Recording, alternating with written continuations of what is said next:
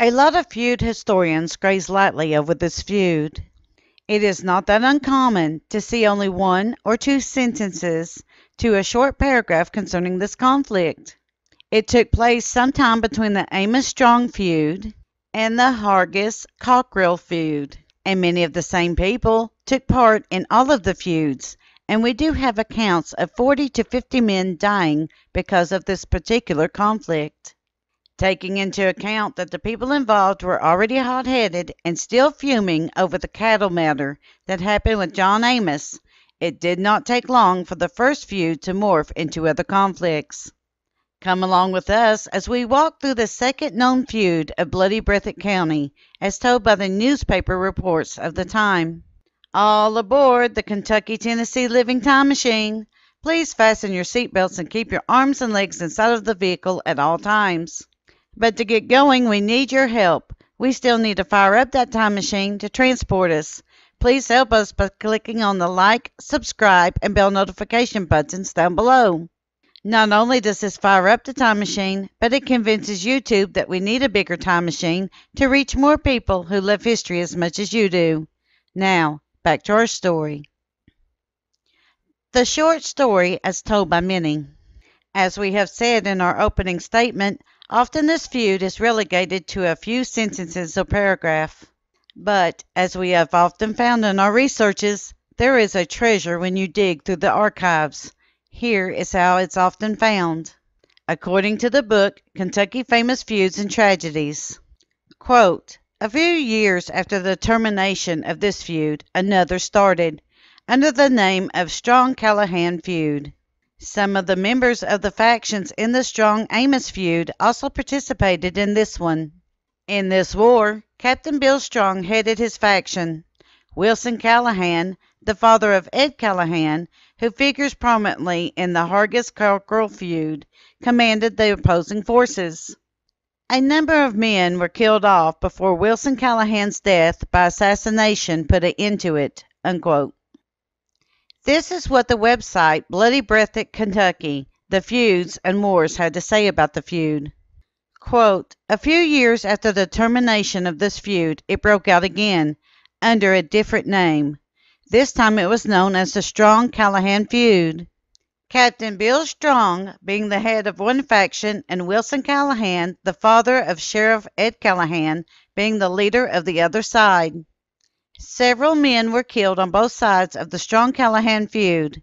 Callahan was shot from ambush and killed, and his death practically ended the feud. Unquote. So we can kind of gather from these two sources that the feud was an extension of the Amis Strong feud. But were there other reasons? Let's go through a few of them, shall we? Reasons behind the feud. There can be several reasons behind each feud. And with some feuds, like the Hatfields and McCoys, the reasons a feud may actually start may be highly disputed. With the Strong Callahan feud, it is not really clear how this started, but we will give each of the reasons from the sources. According to the Sun and the Times, quote, the enmity between the Strongs and the Callahans grew out of the killing of Callahan's uncle by Strong. The feud which sprang up became so bitter between the two families in consequence that every man in the country surrounding Crockettsville for some miles was drawn into it, and announced whether he acknowledged allegiance to the Callahan or to the Strong faction. Unquote. According to the Weekly Intelligencer, quote, after Amis left, the captain enjoyed an era of peace. When the Ku Klux began rioting, Nearly twenty years ago, the captain was bitterly denunciatory of them and their methods. He accused Ed Callahan and his friends with leading the Ku Klux, and it was not long until the strong Callahan feud was well under way, with the result that three men were killed. Unquote. Amis was, of course, John Amis from the Amis Strong feud, which we have finished a previous video discussing the feud between the two men. Callahan and his men denied these charges against them by Strong and his faction, and considered it a deep insult to be accused of such a thing. To be accused of being part of the Ku Klux Klan back then, as in today, was a heavy insult. During this time period, it wasn't just about racism and kicking out the Northern carpetbaggers who wanted to take a stake in the land that previously belonged to a family that supported the Southern cause in the Civil War. It was also used as a method to coerce people into selling their mineral rights to the coal company agents. These agents were paying pennies for these rights. Many people agreed to this because they misunderstood that they would be removed from their land for the coal companies to gain the coal that was there. They never imagined that these companies had a way of mining to gain access to this mineral. A lot of these people thought that this was a huge farce and free money. Fight over John Amis. As previously discussed in our Amis Strong video, there was now animosity between Strong and William Callahan. Even though Callahan had warned Strong and his men that Amis and his factions were coming to kill them, he still was accused of treachery. This was due to the fact that the overall plan was for Amis to be shot by Strong and Callahan. However, Callahan shot his gun before Strong could take aim on Amis. Callahan was accused of treachery for this act.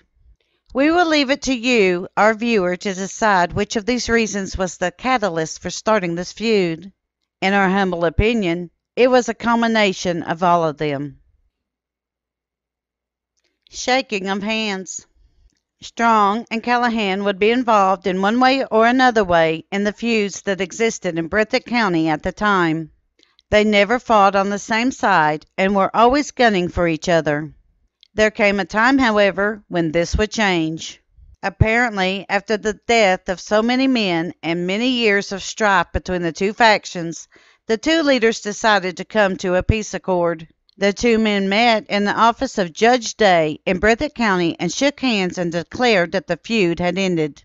Now the question is asked was this decision too little too late? As their men did not adhere to this agreement, this would lead to an attempt on Callahan's life after the death of Strong. Callahan would not escape his assassins, though.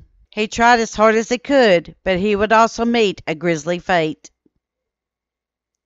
The death of Captain William Bill Strong. According to the Tensas Gazette, quote, Captain William Strong was killed near Jackson, Kentucky, Sunday. He was shot seven times from ambush. He was a leader in the Strong Callahan feud in Breathitt County, settlement of which was agreed upon in the county court three or four weeks ago. It is not known who did the killing. The feuds with which Captain Strong had been identified have cost more than 50 lives in the county. Strong was 72 years old and a captain in the Federal Army. According to the Find a Grave website, quote, it is told that Strong and his men made widows of over 100 women throughout the years.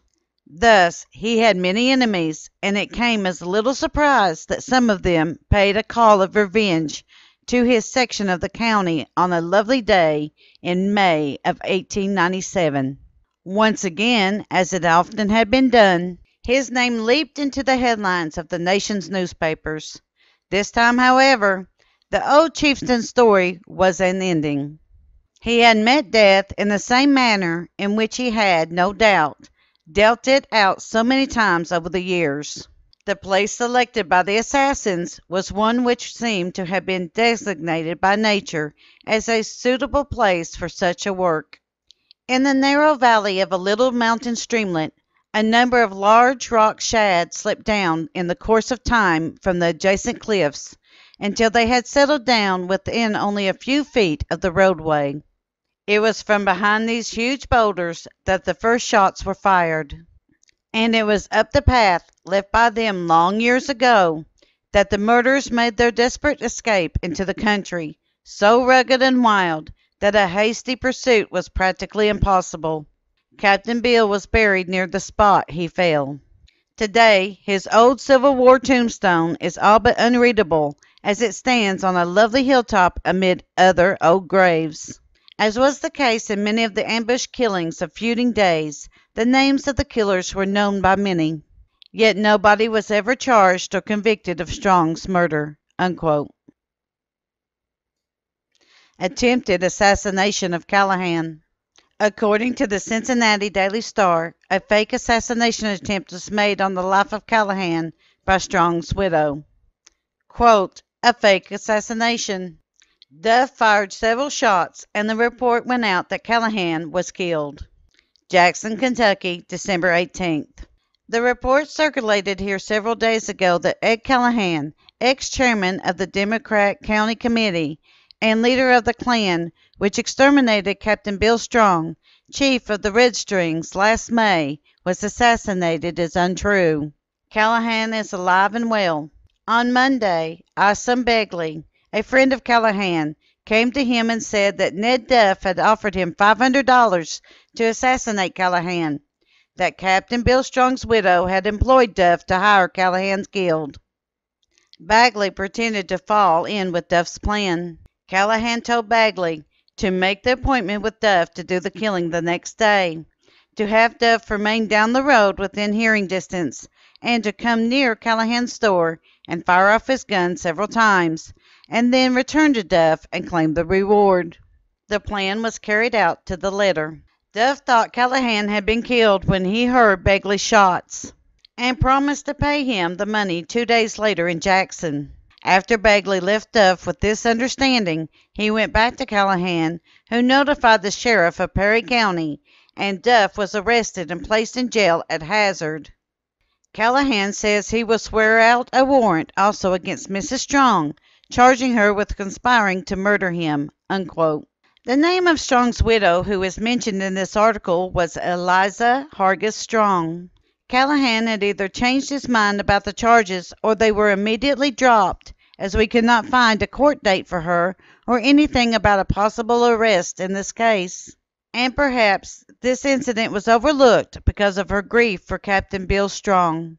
However, this did make Callahan aware that he did have a target on his back, so to speak.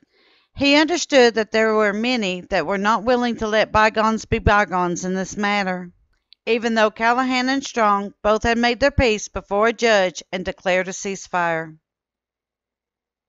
The death of Edward Callahan. According to the Sun, quote, Edward Callahan was assassinated two days ago at his home near Crockettsville, a little village 20 miles from here. He was shot in his own house while asleep in bed.